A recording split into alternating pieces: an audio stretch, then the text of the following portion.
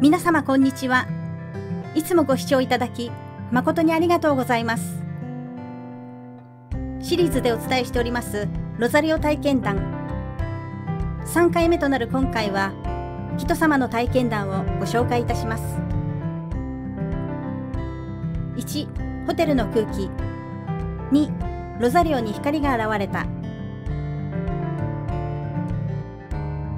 1ホテルの空気。4月のアワーズルームで近道さんから直接ロザリオを購入させていただきました。泊まりで大阪まで行ったのでホテルに帰ると早速アワーズルームでいただいた日輪のお札とロザリオを出して眺めていたら明らかにホテルの部屋の空間というか空気が変わった感じがしました。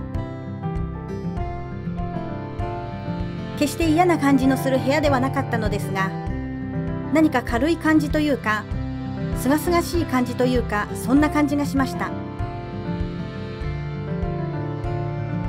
2ロザリオに光が現れた。それと今ではロザリオに竜の顔と尻尾のような形をした光が現れたのですが私が勝手に良いように竜かもと思っているだけのことかもしれません。こちら近道がスキャンしました。竜ではなくなんと水辺の妖精の気配がします。なぜ水辺かは分かりませんがロザリオは妖精との相性がとても良いようです。人様貴重な体験談とお写真をありがとうございました。